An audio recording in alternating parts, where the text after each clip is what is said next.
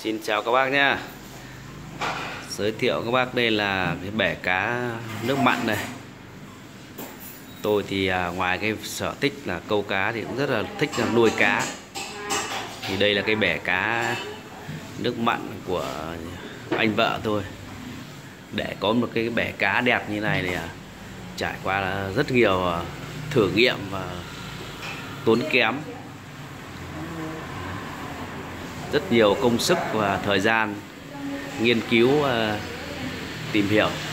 Cái giống uh, nuôi cá nước mặn thì nó khó hơn cái dòng cá nước ngọt rất là nhiều. Chúng ta phải điều chỉnh cái độ uh, muối nó phù hợp nếu không là cá nó rất là dễ chết. Thì đây là như một cái uh, đại dương thu nhỏ bác nhìn là đầy đủ các loại uh, cá nước mặn này các loại à, san hô. Đây là san hô sống đấy. Nó đang à,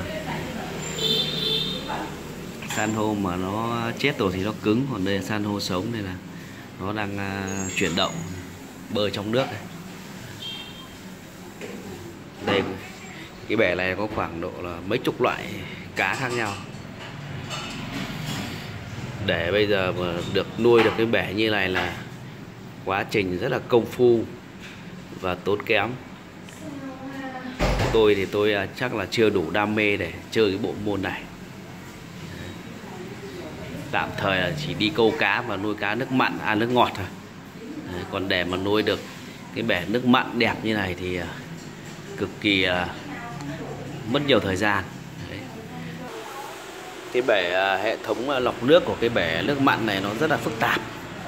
Đấy, nó rất nhiều thiết bị nhiều thiết bị là lọc nước, các thể loại, tôi cũng không hiểu nữa.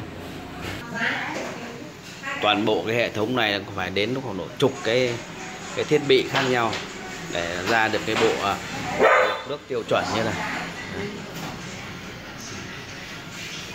Thì cái à, cái bể này chắc là cũng à, tiêu tốn của anh tôi không ít tiền. Chắc đến như đến bây giờ là chắc cũng trên trăm củ à. Mới được cái bể đẹp như này. Đấy. chắc là cũng ờ, phải ờ, quý đen quý đỏ, giấu vợ để ờ, chơi cái món này.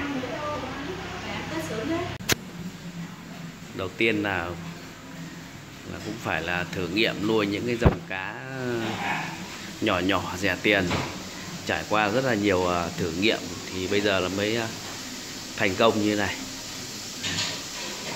Để đẹp như à, cái bể này thì thực sự là rất là tốn thời gian. Đây. Dưới đây là là cát này. Chính cái con kia đều là san hô.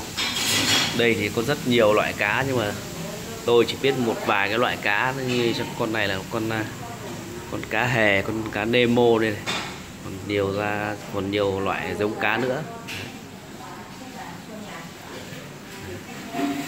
Nhìn cái bể này rất là đẹp. Khi mà đã chơi bể nước mặn rồi thì là, là gần như là không thích chơi bể nước ngọt nữa.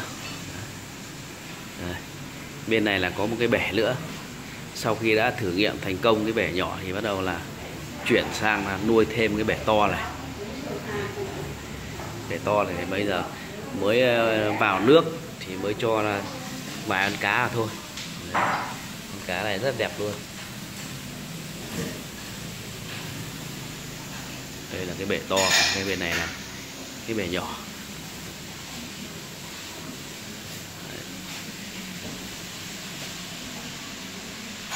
Cá nước ờ, cá nước mặn thì thực sự là rất là nhiều màu sắc sặc sỡ nước ngọt thì nó sẽ, nó chắc chắn là không đẹp bằng rồi. Bác, Đấy. nhìn cái đàn cá nước mặn này, quá là tuyệt vời luôn. Cái bể này là phải à, sau à, hơn 2 năm dày công nghiên cứu, chăm sóc thì bắt đầu mới à, phát triển được như bây giờ. Hồi mới nuôi là cá ờ, gọi là rất tốn kém vì ờ, cá hay bị ờ, bệnh chết, không đủ độ muối, độ mặn các thứ này là thì năm nay là có cái bể rất đẹp rồi.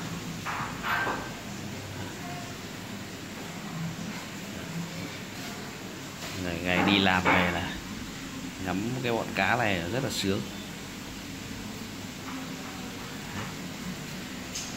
Mấy cái dòng này là tôi chả biết là cá gì.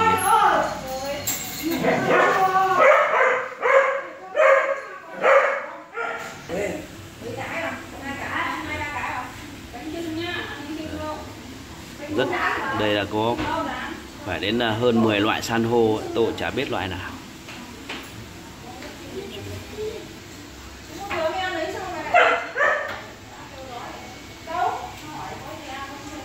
bác nhìn đẹp chưa? Con này cái bể từ lúc anh nuôi đến 2 năm chưa nhỉ? Từ lúc nghiên cứu thì hơn nhỉ? Nghiên cứu đến bây giờ là thành công mấy năm rồi. Hy sinh biết bao nhiêu.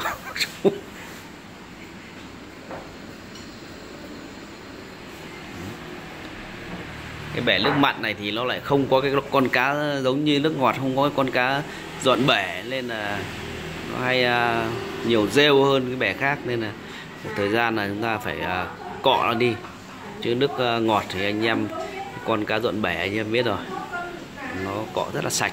Nhưng cái cái, cái dòng này là nó không uh, có cái con nào ăn rêu được. cái bể này thì chắc khoảng một uh, một năm nữa thì sẽ sẽ đẹp thôi. Bây giờ là mới bắt đầu uh, sang đây. Trong kia có con cá sư tử rồi đấy đang uh, dưỡng ở trong đấy. Quá đẹp luôn.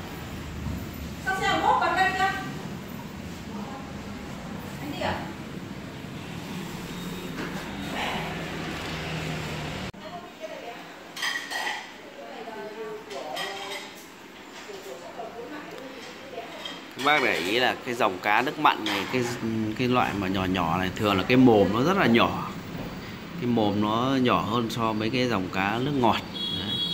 Đấy. như rô phi rô phiếc như nước ngọt cá chép là mồm nó to lắm. Cái bọn này mồm nó bé tẹo này. Nên bọn này nó ăn cái, kiểu như những cái phinh sinh vật phù du ở trên cái uh, san hô này. Đấy. miệng nó rất nhỏ. Đây là con cá bò này. Con cá bò này là ngày trước là tôi đi câu ở trong nha trang là được những con to này, nướng rất là là ngon là tôi chỉ à, biết là vài cái loại này thôi. Đấy. bọn này chạy rất nhanh, rất là sặc sỡ. Trong kia rất là nhiều, nó chúi ở trong đá